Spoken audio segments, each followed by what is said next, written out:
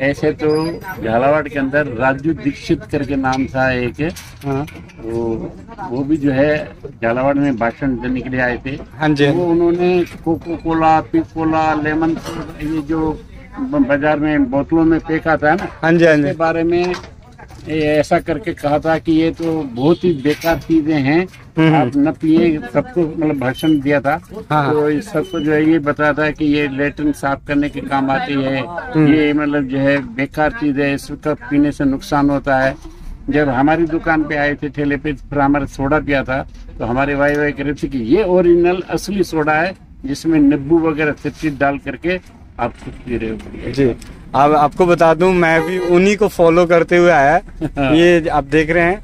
हाँ, ये आप देख रहे हैं कि ये हमने ये राजीव भाई की फ़ोटो है हाँ, जिनके बारे में आपने बताया।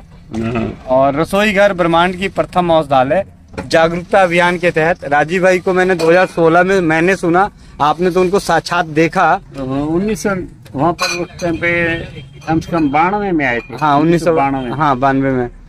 तो उस वक्त आपने तो उनको देखा साक्षात रूप में और हमने तो मतलब सुन के पिलाया ना उनको मैंने सोडा भी पिलाया है। हाँ। दुकान पे आए थे ठेले पे। झालावाड़ के अंदर की जी जी। तो